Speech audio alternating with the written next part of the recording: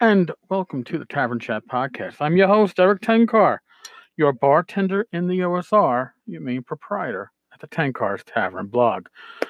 So things continue in the OSR verse in regards to Zak Smith and uh, fallout from uh, Mandy Morbid's public posting on Facebook making allegations against Zak during their relationship.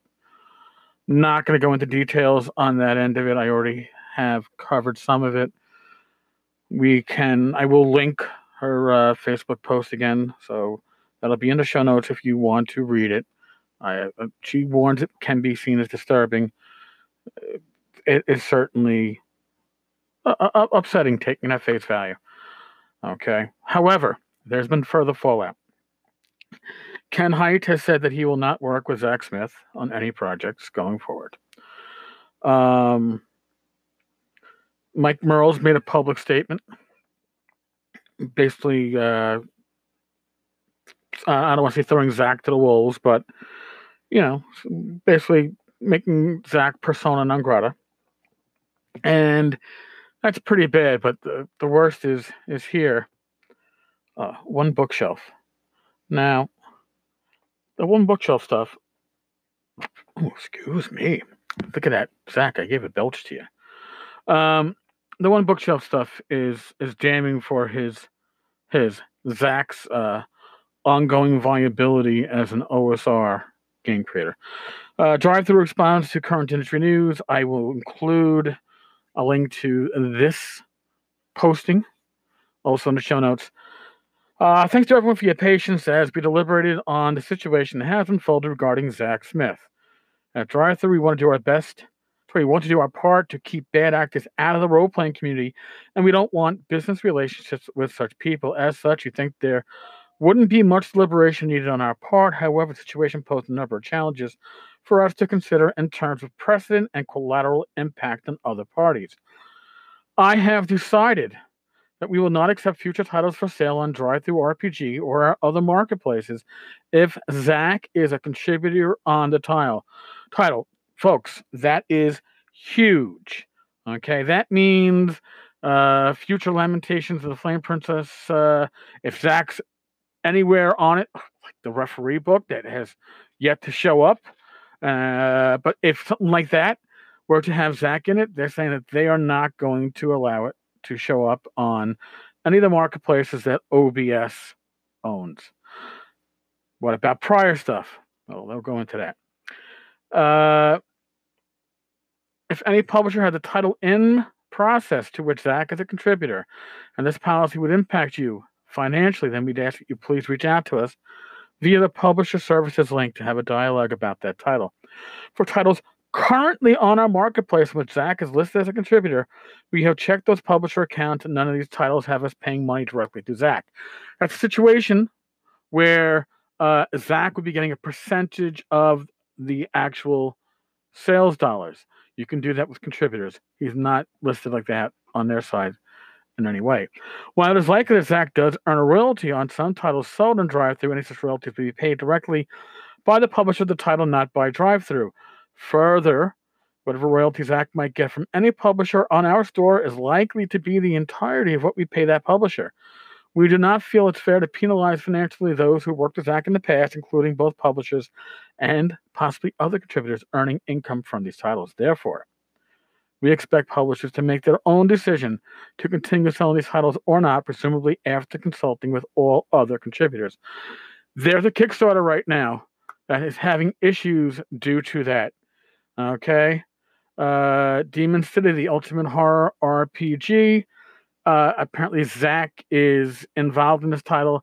Uh, people who are contributors to it are asking to have their content removed, have their name removed from the project. Uh, yeah, this shit just keeps on rolling downhill. Uh, for our part, we will be identifying all titles to which Zak contributed and diverting all of our revenue shares that DriveThru might make from sales of these titles as a donation to R-A-I-A-N rainn.org. And then of course they want to know preemptively the answer a few questions. What happened? Why did you not suspend Z- sale of Zak's titles? Because that would I'm not going to go give the full response basically because you'd hurt the publishers. Um, here's an interesting one. So DriveThru is now banning certain creators. Will whoever the outrage brigade complains about next be banned as well? Interesting answer here. We all share responsibility for the health of our hobby. Any demographic measure we've ever seen on the role playing hobby shows women are underrepresented. Things won't improve if people shirk the responsibility to make our hobby inclusive. Zak Smith has a long and well documented history of behaviors antithet- antith- anti-ethical. Based antithetical. There we go. Sorry, folks. I'm a New Yorker. Certain words don't don't really apply to us. Uh, to a healthy community, in light of recent allegations, which we find credible, we think our business and our hobby is better off without him, so we're doing our part. Now, listen to the following. We already have a small list of other bad actors in the industry with whom we refuse to do business. People who have repeatedly abused crowdfunding platforms for personal enrichment. I'm guessing, I don't know. I'm going to throw this name out there, Justin a lark. Ken Whitman, maybe? Uh, who repeatedly engaged in IP violations, who have repeatedly treated our staff or customers in unacceptably unprofessional ways, and so on. If you repeatedly act like a jerk, or worse, a predator, we won't wait for other people to complain about you. We will just stop doing business with you.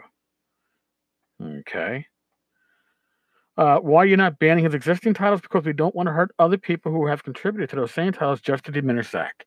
Banning those existing titles risks doing just that. Thanks, Stuart. Stuart Wyke, or Week, President, OneBookShelf Drive Through RPG. So, pretty, uh, pretty damning if you want to be a contributor to this hobby, and this is where your one of your major income streams is, and You've just been removed.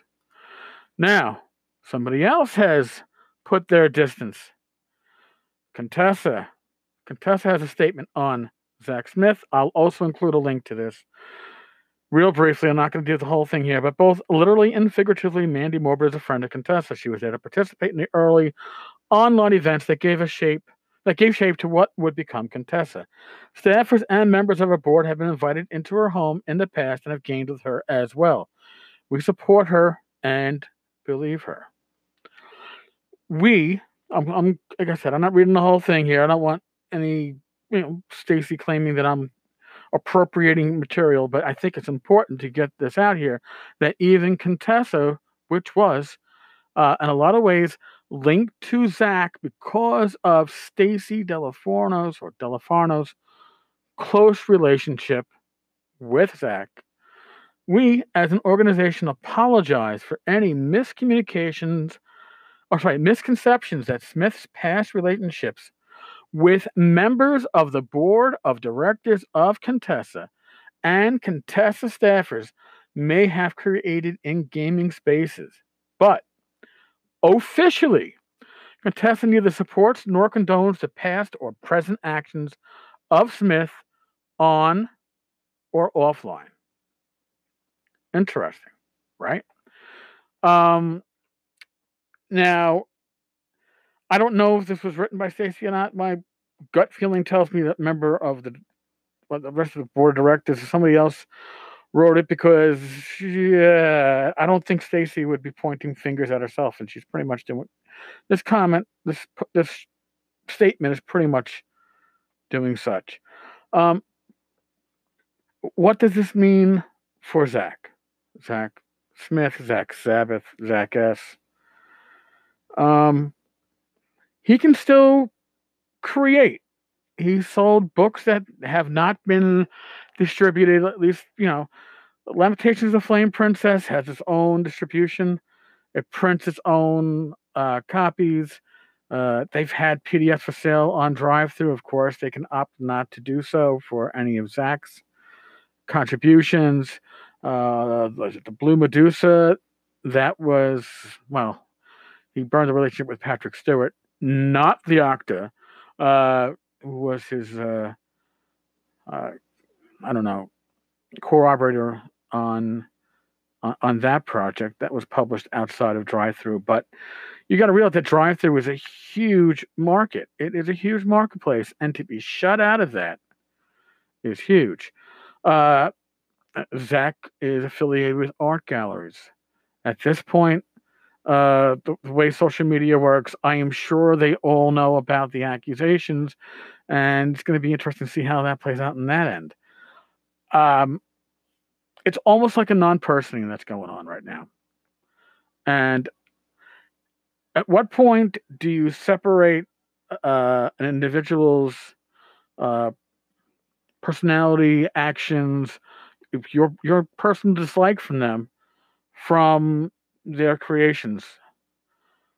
I, I I don't have an answer for that, and I guess that's uh, something that everybody has to make on on their own, and you have to make those choices, I guess, on an individual basis.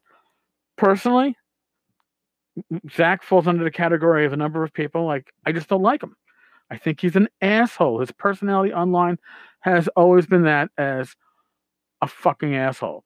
However, some of his uh, releases have been anywhere from really good to fucking awesome, and some I think are are, are kind of shitty. I don't like Vornheim. Okay, I think it's a waste of uh, a waste of paper. Some people love it because it's so artsy. Uh, I just like it immensely because it's so artsy. But that's again my personal taste. With DriveThru making this decision to ban Zak from their marketplace, uh, pretty much preemptively, it, it can be a, a, huge problem. It should be. Uh, put this into perspective, folks. This means that if you do something that OneBookShelf deems to be uh, uh, you acting as a bad player in the community, you can be removed from that uh, marketplace. Okay, that's one person. Okay, one person makes the decision for all of us. Steve says it. Steve says, I have decided. Now, he says deliberation on our part. And you would think that when he says our, he would mean uh, in terms of the staff or uh, whatever at OneBookShelf, people involved in management. But he says, I have decided. So he's taking full responsibility. And that responsibility is going to affect what you in the future could possibly have access to. Think about that. Okay. Again, I don't like Zak. Okay. I don't. But this could be a dangerous precedent. Also, remember, they say they've banned other banned other people for actions, but they never named them. They never made a public statement. It's the first public statement of such. And I find that very interesting too. So, give me your thoughts, folks. Uh, I'll, I'll, be happy to uh, take them. You can email me at tenkars dot, and that's an actual dot tavern at gmail.com. You can leave a voicemail with the Anchor app. I, I'd, I'd love to hear your opinions on this. Not necessarily on on, on Zak, because like I said, I got my own, but what you think about this this banning. It's effectively uh, it's a non uh, it's he's been being unpersoned. He's being removed from the OSR market the, the the premier the largest OSR marketplace. What does that mean to you and what does that mean uh, for our future uh, as a hobby? If if actions that are do I believe that Zak likely committed or did much of what is alleged. I, I find it credible based on my personal experience with Zak. But this hasn't been proven anywhere. Remember, apparently we don't need that. And again, it's a business decision. I understand why DriveThru is making it, but give me your thoughts, folks. It's going to be an interesting conversation we're going to have. All right. On that note, stay safe, be well, God bless roll those dice, and I will talk with you all tomorrow. Later, folks.